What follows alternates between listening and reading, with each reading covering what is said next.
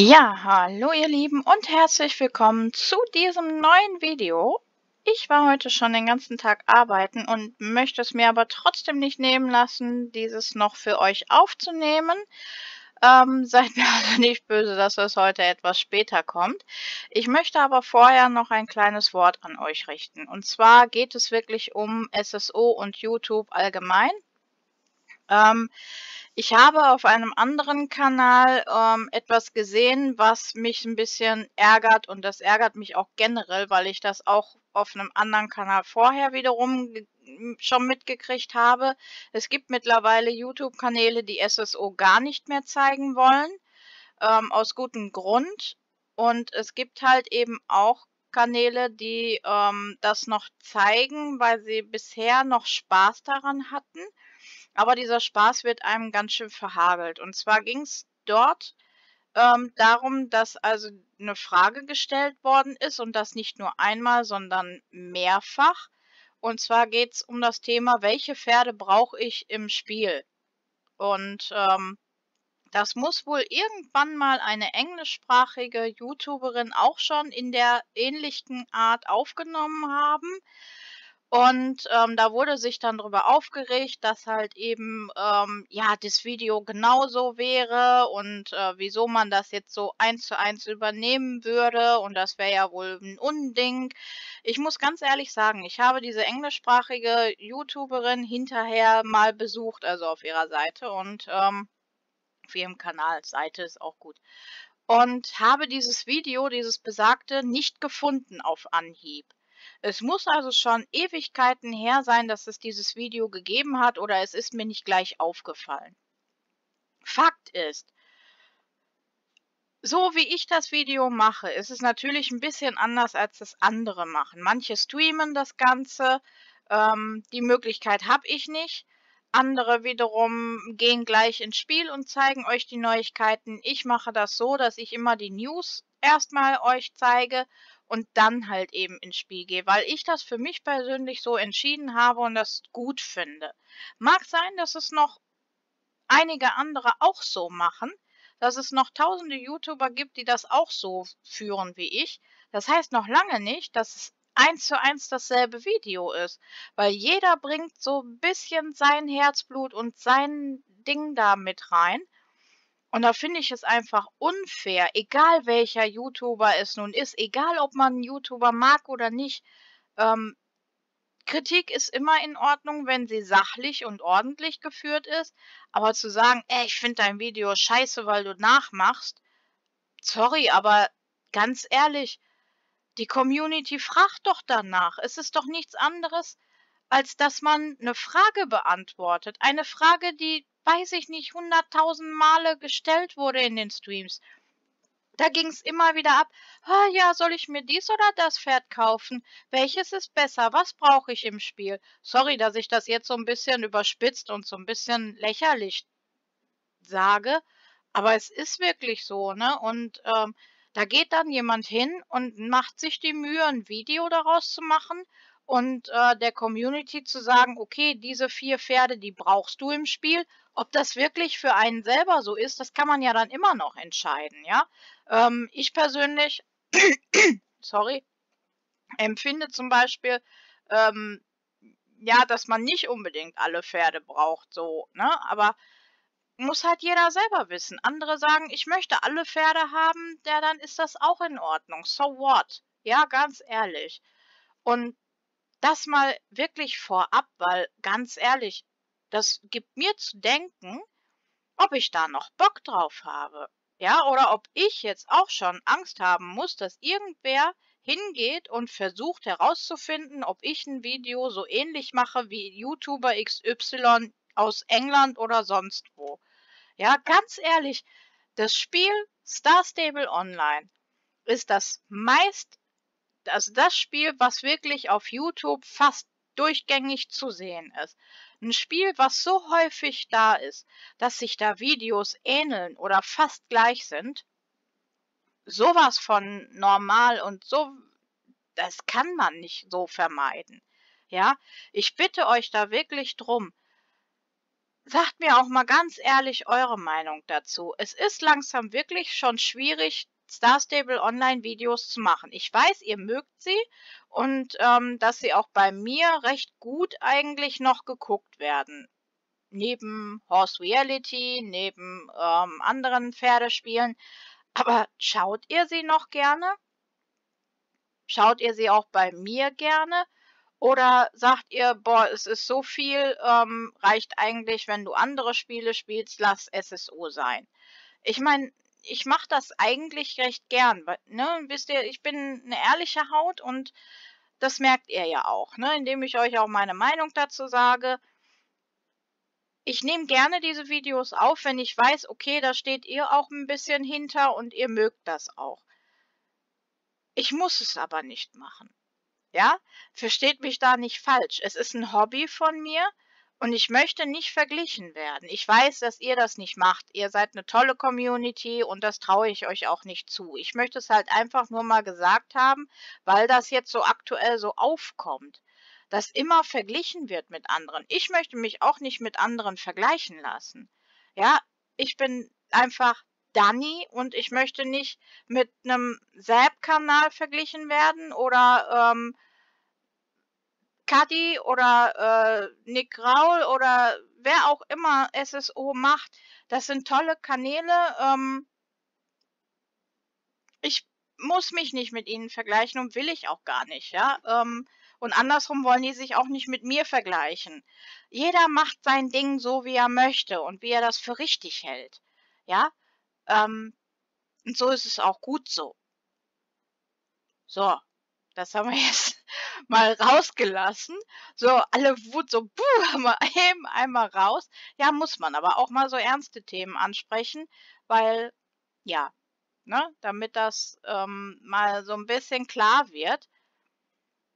YouTube ist voll mit SSO. So. Ich mache es einfach nur, weil ich da Bock drauf habe. Fertig. So. Jetzt kommen wir zum den SSO News. So. es wird Zeit, im Mitsommer zu feiern. So, da haben wir es doch. Ja, es ist jährliche Mitsommerfeier. Die Jorvik Rangers reisen nach Moorland, um mit den Vorbereitungen anzufangen und sie sind für jede Hilfe ausgesprochen dankbar. Die Mitsommerfeierlichkeiten laufen bis zum 24. Juli, das ist also sehr, sehr lange. Auch Nicht-Starrider können daran teilnehmen, was natürlich schön ist. Dass da niemand ausgeschlossen wird? Alle können dabei sein. Feiere mit uns den Mitsommer. Das Eventgelände direkt bei der Farm des alten Jasper in Moorland sieht dieses Jahr besser aus als jemals zuvor. Das kommt den Jorvik Rangers gerade recht, da sie unsere traditionellen Mitsommerfeierlichkeiten planen. Die Ranger Marisol, Stanislav, Dylan und Ashley brauchen deine Hilfe, damit die Party rechtzeitig startet. Woran kannst du in diesem Jahr teilnehmen? Stanislav, der Jorvik Ranger, braucht deine Hilfe, um die Mitsommerstange aufzustellen, damit du wie ein Frosch, ja, wie ein Frosch, zu einigen klassischen Mitsommerliedern tanzen kannst. Okay. Creepy, aber okay. Werden wir dann sehen. Spiele zusammen mit deinen Freunden zu unserer coolen Mitsommermusik. Geh mit einem der Musikinstrumente auf die Bühne. Zeig den Menschen auf der ganzen Welt, dass die nächste Nummer 1 des Eurovision, ach so, Eurovision Gesangswettbewerbs vor ihnen stehen könnte. Okay, da gibt es ja dann diese Bühne, aber das will ich nicht spoilern. Egal. Ashley von den Jorvik Rangers sucht nach etwas Hilfe, um das Mitsommerfeuer zu entfachen. Sie braucht deine Unterstützung, damit alles sicher abläuft. Kommen wir zum Essen. Hier ist Dylan, der Jorvik Ranger, genau der richtige Ansprechpartner. Er braucht deine Hilfe. Seine Lieferungen müssen eingesammelt werden und du und dein starkes Pferd können ihm sicher dabei helfen. Entspanne dich was? Entspanne dich deinen Freunden bei einer Pause. Mit deinen Freunden soll das wahrscheinlich heißen. Das ist wieder super tolles SSO-Deutsch. Aber egal. Mach ein Picknick an den Tischen oder bei den Picknickdecken. Und warum kommst du nicht zu den Tribünen, um deine Freunde auf der Bühne zu sehen? Unterhalte dich mit allen Teilnehmern, um mehr darüber zu erfahren, was sie von dem Event halten. Es sind viele lustige Leute anwesend, mit denen du abhängen kannst. Und es gibt noch viel mehr. Lies weiter, dann erfährst du es. Ja, ja, ist ja gut, machen wir ja schon. Neues Aussehen für den Midsommershop. Im wunderschönen Midsommer-Shop findest du süße Gegenstände von vergangenen Feiern, die ihr natürlich wieder mit den Stars Starcoins ähm, kaufen könnt, die ihr ja vorher von dem Doppel-Starcoins-Wochenende ähm, euch gekauft habt. Ja, das ist wieder so klar ähm, wie immer, aber egal. Ein Mitsommernachtstraum. Wenn du am Mitsommerabend sieben verschiedene Blumenarten pflückst und sie beim Schlafen unter dein Kissen legst, wirst du der Legende nach von einem besonderen Menschen träumen. Wer wird in deinen Träumen auftauchen? Besucht das besondere Blumenzelt, dort findet ihr es heraus. Der Angelteich und Mitsommerkränze. Der Angelteich und die Station zur Kranzherstellung kehren dieses Jahr während des Festivals ein wenig später zurück. Also das wird wahrscheinlich noch dauern, wird in den nächsten Wochen kommen. In liebevoller Erinnerung. Während die Bewahrer Aidins die Soulriderin Anne von Blissen aus Pandoria retten, erlitten die erlitten die sie einen schweren Verlust. Es wird Zeit, das Andenken an eine geliebte Freundin zu ehren, eigentlich. Okay, also ich muss da mal so ein paar Wörter mit reinbauen. Daher ziehen die Verbündeten der Druiden zu Dolls Abbey, um ihren Respekt zu zollen. Und Lisa Petersen hat für diesen besonderen Anlass ein wunderschönes Lied komponiert. Aber zuerst einmal suche bitte Evergrey am Soulrider Campingplatz in Epona auf. Okay. Ähm, das haben wir noch nicht, also ich noch nicht, das kann ich euch nicht zeigen. Aber ich bin mir sicher, dass der ein oder andere von euch ähm, schon viel, viel weiter ist im Spiel und das auf jeden Fall kann. Ein neues Outfit von Farah. Ihr wisst, was ich denke? Starcoins ausgeben. Die reisende Druidin Farah ist wieder in Jorvik. Sie hat ihr Lager wie immer neben dem Haus von Elizabeth Sunbeam in Valedale aufgeschlagen und verkauft ihre bekannte und zaubernde Druidenausrüstung. Zu ihren neuesten Gegenständen gehören ein wunderschönes Outfit in bläulich-violett für dich und dein Pferd. Sie bleibt nur eine Woche hier, also besuch sie, solange du kannst. Einfach. Wenn ihr es unbedingt braucht, ja. Wenn nicht, dann lasst es. Ne? Das ist wieder SSO äh, typisch, aber egal. Das Texas Bluebell-Fell verlässt uns bald. Das besondere nordschwedische Kaltblutfell mit dem Namen Texas Bluebell aus der Star Stable Horses App ist nur bis zum 1. Juli verfügbar.